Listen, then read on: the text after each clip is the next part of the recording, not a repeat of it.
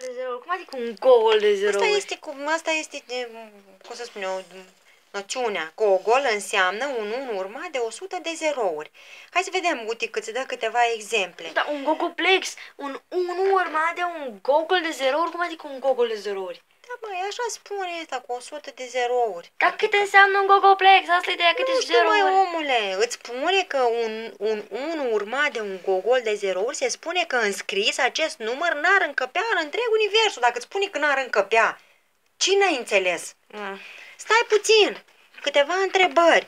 Câte ființe umane încap pe Terra? Nu poate să dea nimeni răspuns. După aia, care este cel mai mic component al materiei? Nici la asta nu se poate da răspuns. Ce este realitatea? Ce este realitatea? De ce există totul în loc să nu existe nimic? Este bine să-ți pui întrebări? Da. No, da, da, da. Da, pentru că dacă nu... Păi da, Ce asta spune? e și o Este ceva firesc. Da, st- vre- stai un pic, domnule, Dar liniștit. trebuie să pun piciorul aici. Bun, ai pus? Așa, gata.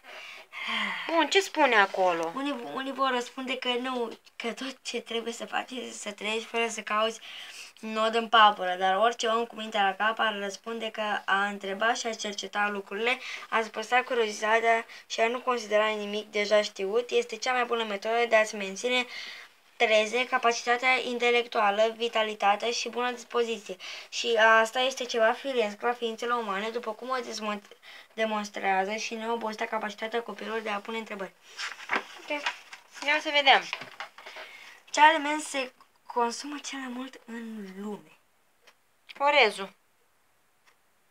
Orezul? Da. Asta scrie? Da, orezul. Orezul. Da. în unele țări asiatice. Pentru că sunt cei mai mulți. Exact. Este periculos să consumăm alimente după data expirării? Nu! Ce spune acolo? Că trebuie să fii prudent, totuși.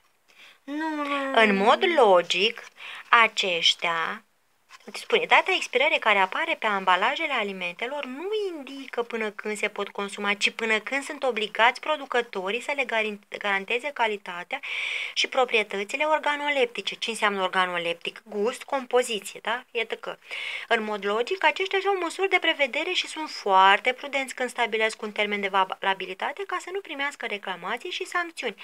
Dar alimentele pot fi consumate și după acea dată, încă două-trei zile, fără să existe niciun pericol pentru sănătate.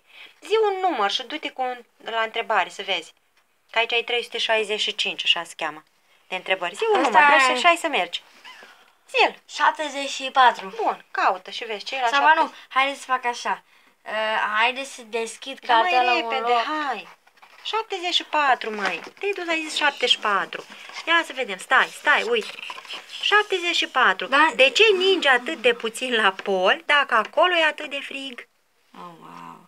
Oh, wow. Deoarece pentru a ninge este nevoie ca aerul să aibă o anume umiditate, nu numai ca temperaturile să fie scăzute. Vezi, de aia ninge.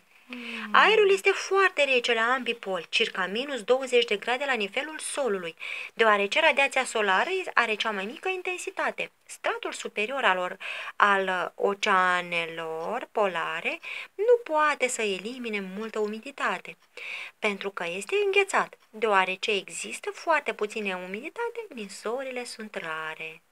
Zi tu un număr acum. Trebuie să acum să la... Ba, Zi un număr, mai. Bun, am ajuns. Bun.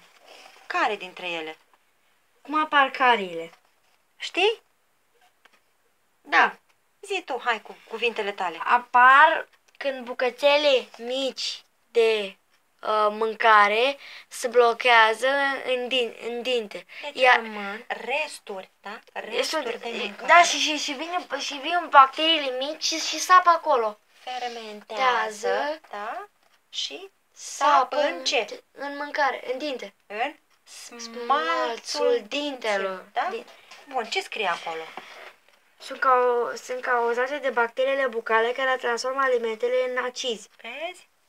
Adică fermentează, se transformă în acid. Combinația acestor acizi cu bacterii, bucăți mici de mâncare și salivă creează o placă ce rămâne lipită de dinți și de măsele și care, dacă nu există periaje frecvente și energice, deteriorează smalțul dentar și îl perforează până atinge pulpa, moment în care se declanșează durerea pentru că ajunge la Nu, nervi. dacă, dacă îți curează asta, este necesară pasta de dinți pe periuță?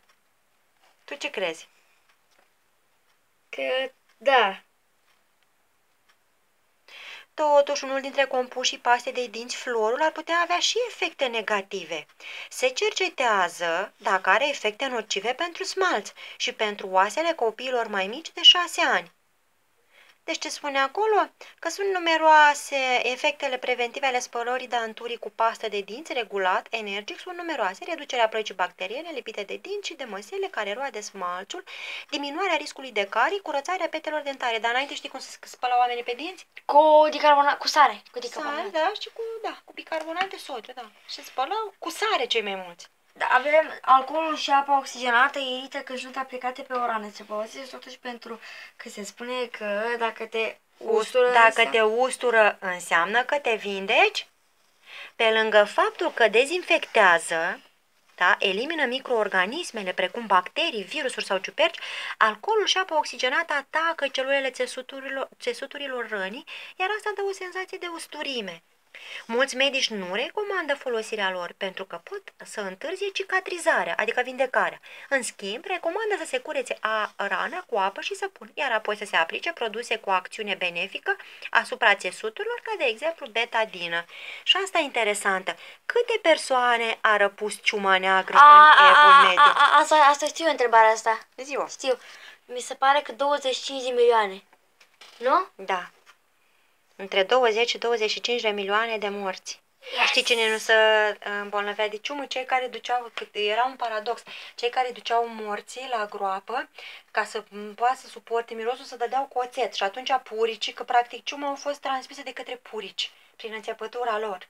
Puricii de pe șobolani, săreau de pe șobolani, dar nu veneau la ăștia care erau dați cu oțet pentru că nu suportau mirosul. Și neciupindu-i, ăia nu se îmbolnăveau. Ceea ce înseamnă că oțetul era bun. Da, ceea ce înseamnă că oțetul era bun.